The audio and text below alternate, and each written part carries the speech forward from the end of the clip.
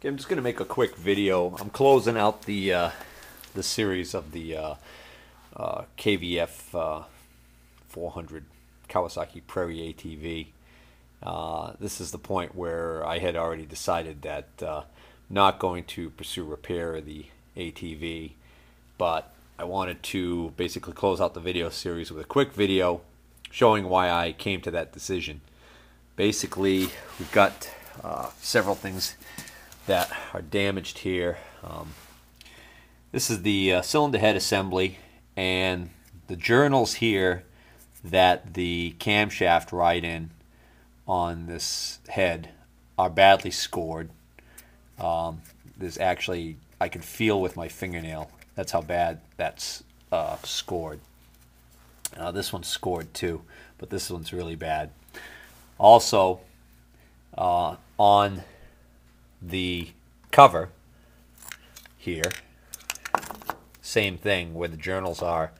Uh, these are just all chewed up from uh, ground up metal getting in there while it was running.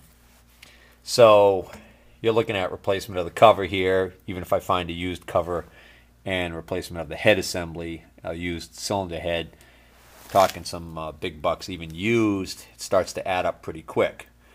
You add to that also the fact that at some point this uh, motor had suffered a uh, four-point seizure.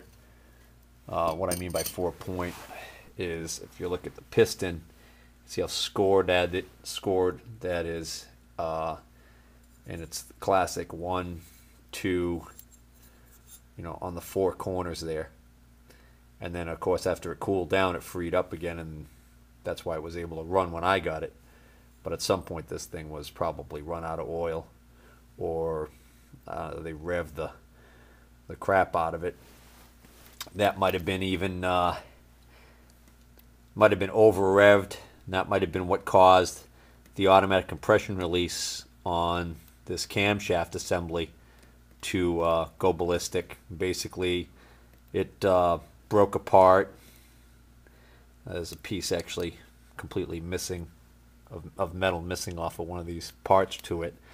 Um, this assembly is available separately, but again, camshaft is damaged. The journals on the camshaft, they're really, really toast. So you're looking at a camshaft assembly with the uh, decompression release. Um, a piston assembly complete. And probably have to go with an oversized piston because that seizure, you got score marks on the uh, cylinder. So the cylinder would have to be bored. Uh, I doubt those marks could be honed out.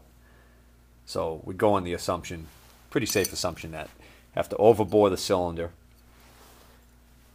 get a new piston assembly, get a uh, new or good used cylinder head which isn't the easiest thing to come by, and uh, valve cover. So you add all that up, and it's just not worth putting that kind of expense into a 1999 uh, Kawasaki 400 Prairie that is only two-wheel drive to boot. So uh, if it was four-wheel drive, I would probably try and pursue this some. Um, again, on eBay, saw a guy who had an entire running engine for this quad. Uh, I think he wanted like uh, 600 bucks for it. Tried to cut a deal with him, made him an offer uh, through eBay. He uh, refused the offer. Months later, that motor, as far as I know, is still available. He still hasn't sold it. Part of the problem is the shipping. The cost of the shipping on it's uh, pretty, you know, fairly heavy.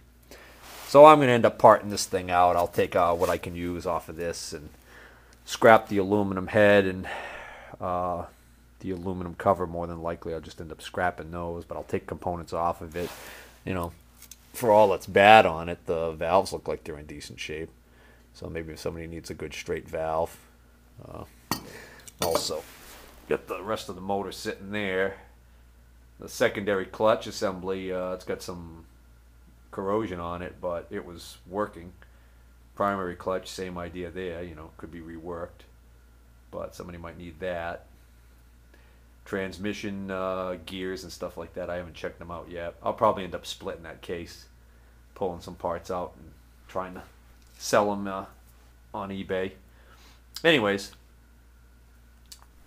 that basically finishes the KVF 400 Kawasaki Prairie project.